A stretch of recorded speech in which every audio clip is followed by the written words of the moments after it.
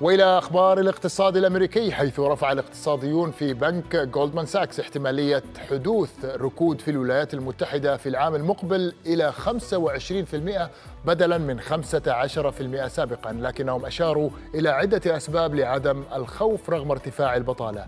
وأكد اقتصاديو البنك أن المخاطرة لا تزال محدودة.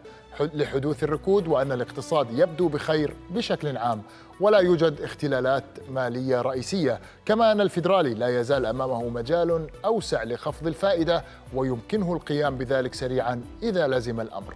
وتوقعوا خفض الفائدة بمقدار 25 نقطة أساس في اجتماعات كل من سبتمبر ونوفمبر وديسمبر.